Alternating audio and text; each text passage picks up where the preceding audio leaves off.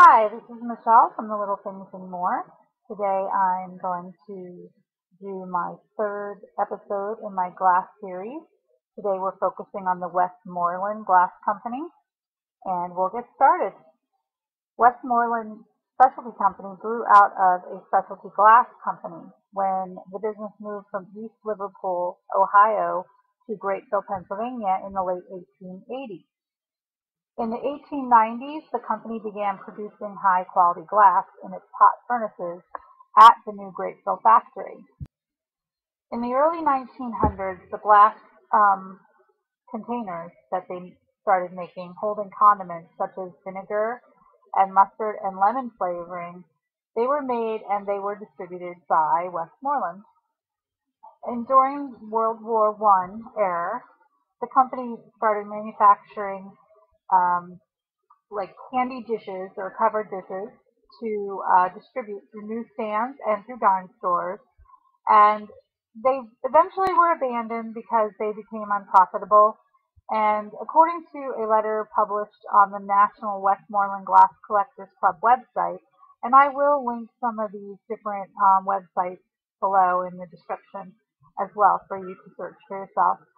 Uh, like I said, they were abandoned because of the possibility of them. In 1924, Westmoreland Specialty Company became the Westmoreland Glass Company, and glass was only then being produced, or only the only product that was being distributed from the Grapeville factory at that time. Westmoreland did suffer through the Depression in the 1930s like many of the other glass companies did, but they never did cease their production.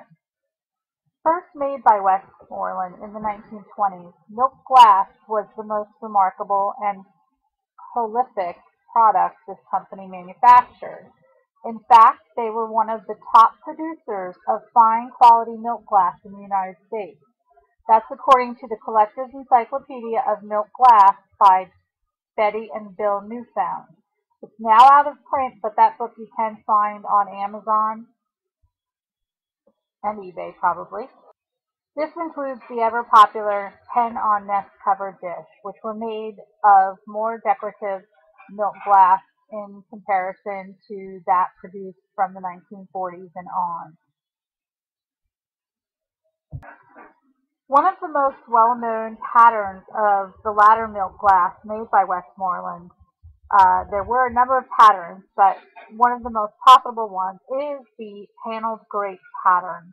And according to Betty and Bill Newbound's book, this pattern is marketed as reproduction glass, marked with a WG, a stacked mark. And I'll go through over the markings um, shortly in this video. Apparently, the paneled grape was the first made at the turn of the last century by another glass maker, but what most collectors find on the secondary market today is the later glass, which is thicker and whiter in comparison to the early milk glass wares. And while not quite as widely found on, um, or widely found on the secondary market today, as the paneled grape. Other popular Westmoreland patterns include the beaded grape. Some examples of the beaded grape pattern are in these uh, pictures here. There's also this old quilt pattern and this roses and bows pattern. As you see here are some of the markings that you may find on um, the glass itself. Uh, the W with a keystone around it was a marking from the 1910 to the 1929 period. Then there's the wrapping, the W and the G, and this was first used in the late 1940s. There's also the Westmoreland within a circle around, and that was in 1982. And on the bottom, you'll see a bunch of different paper tags. Uh, most of these have been torn away with cleaning. They're no longer usually on the glass. Sometimes you do get lucky and you find pieces that still do have the paper tags or the paper sticker tags still on the bottom of the product or of the glass. Although Westmoreland is clearly best known for its milk glass, with 90% of the glass was produced from the 1920s to the 1950s having the milky white hue, in the 1920s the company did make a limited selection of high-quality decorated glass and crystal, including the Hen Nest dishes, and they made them in a variety of colors and in addition to the milk glass. And in the 1950s, they even did some of the what we know obviously as depression glass, the uh, a limited amount of the amber, the blue, the green, the pink, and the brown glass. In 1981, ownership of the Westmoreland was purchased by Dave Grossman, and according to the National Westmoreland Glass Collectors Club, on May 21, 1984, the Westmoreland Company Glass Company closed its doors just a few years shy of its 100-year anniversary. The Westmoreland molds were sold to a number of different glass manufacturers, and some of those included the Summit Art Glass, Viking Glass, Blanco, and along with several others. Some of the molds are still being utilized today in the glass manufacturers. Uh, for a more comprehensive list of the companies that purchased Westmoreland molds, you can refer to the Newbound's Milk Glass Identification and Value Guide. Now we'll take a look at some of the eBay sold listings. I did a search. This is just a plain Westmoreland glass search. And I basically sorted them price, shipping, and highest first. As you can see here is a paneled grape milk glass dinnerware set, $350 it sold for.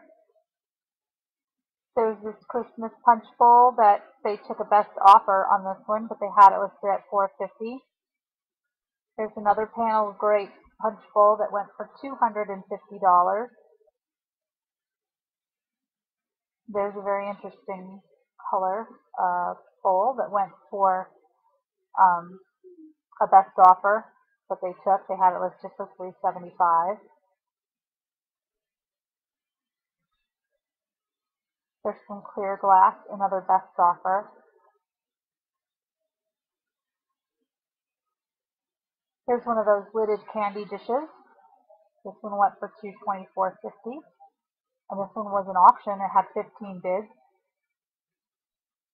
Here's one of the roses and bows. And it's a vintage cologne set. Went for $189. The swan, $199.99. Then we have some lamps, cake stand,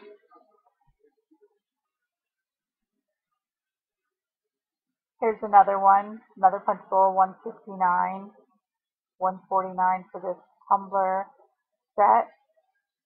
Best offer on the dishes. 124 for this picture set. Here's some of that fancy glass that we had talked about. They took a best offer.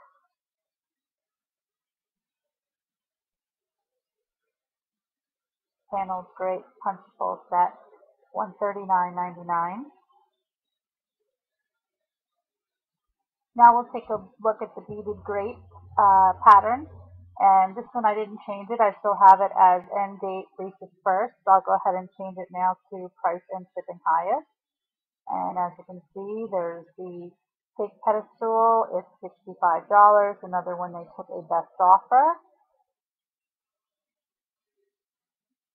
Then we have another one for $51, $55. Looks like the cake stands in this pattern are pretty popular. There are a couple more items. Here's some of that fancy glass. As you can see, this is a little less valuable than the paneled grape. Here we have the old quilt pattern and this is the highest price one first in my um, sold listing research. A set of tumblers, $59.99. Candy dish or sugar dish, $54.99. $45 for these goblets.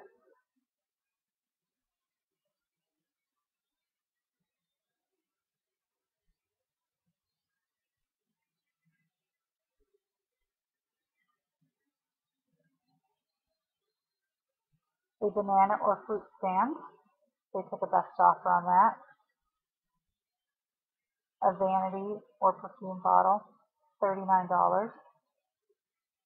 So you can see there is markability in these milk glass items and depression glass. And it does sell on all the different platforms on Amazon, on Etsy, Bonanza, eBay. And here we have the roses and bows. And the first one we saw in another sold listing. There's this milk base, $79. Vanity set, $75. Candle holder, $50. Candy jar, $30. The footage candy compote, $19.99. Some other ones for $19.99.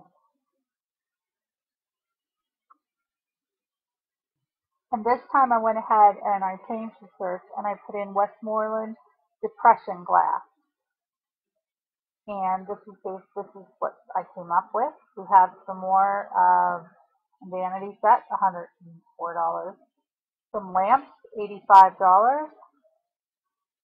Really pretty depression glass pink salt and pepper creamer tray set for $90. The pink and the gold depression glass um, sugar cube tray and creamer, $72. These goblets went for $58. This lamp, they for the best offer on. And even when you don't know who the maker of depression glasses, like this particular one, they listed it as unknown pink depression beverage glasses, possibly Cambridge or Westmoreland. They didn't know what it was. They still got $55 for that piece or for those pieces. Here's a, uh, one of the decorative glasses. The Bulldog, $41.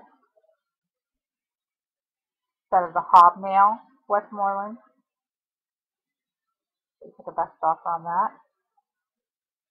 Very interesting Santa Claus Christmas candy dish, $41. And this here is not Westmoreland, this is from Anchor Hocking. But here's a nice decorative glass, $27.95. Lastly, some of the uh, different sites that I use when I do my researching for the Westmoreland glass is the westmorelandglassclub.org, the antiquesabout.com, the collectorsweekly.com, glassware, Westmoreland, or whatever glassware I might be looking up at the time, glassloversdatabase.com. I also do replacements.com.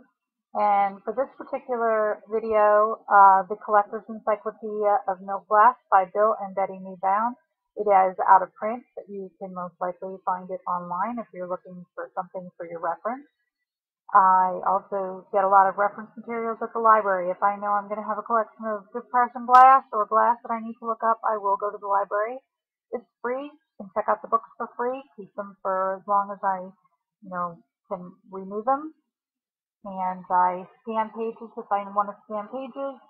Uh, so I have them in my reference for, you know, future.